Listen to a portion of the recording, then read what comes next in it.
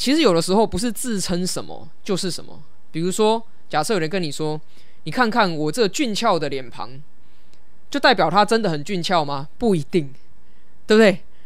你说看看我这俊俏的脸庞，也许哎根本就不俊俏，对不对？不帅。那国会改革自称就一定是改革吗？我觉得倒也未必，说不定国会改革就跟早餐店帅哥美女一样，它就是一个讲好听，但是未必跟实质的内容真的符合。好，所以呢，我不倾向称这个有争议的法案叫国会改革法案，我都叫它国会法案。因为如果你叫它国会改革，你跳出来说，哎。对它有疑义，好像我们在反改革，但其实我们没有反改革啊，我们要的是国会真正的改革。那什么叫国会改革呢？为什么大家说国会改革呢？因为大家觉得国会很烂嘛，你就是觉得它很烂，所以才需要改革，对不对？如果你觉得它很好，那就不需要改革了嘛。你因为觉得国会很烂才需要改革，那真正要改革的应该是什么？真正要改的是国会那些很烂的行为。可是这一次的草案哦，这一次的法案哦，他在讨论的是什么？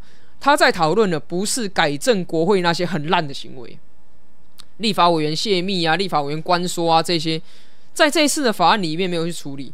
这次的法案它处理是什么？这次的法案它处理的是国会要更多权利，所以有人称为国会扩权法案。你可能觉得不好听，那没关系，现在改一下，你不要叫国会扩权法案，你把它称为立委要权利法案，要更大的权利嘛，给我更大的调阅权。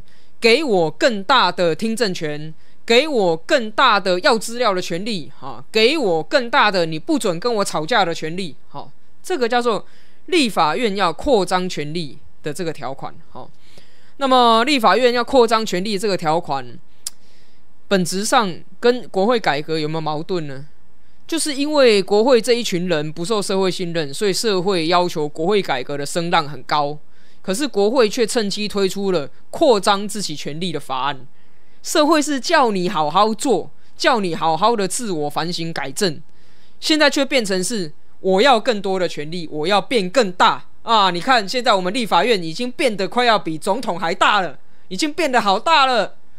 那这是国会改革吗？大家可以先思考哦，这个从起点开始，是不是就取错名字的问题？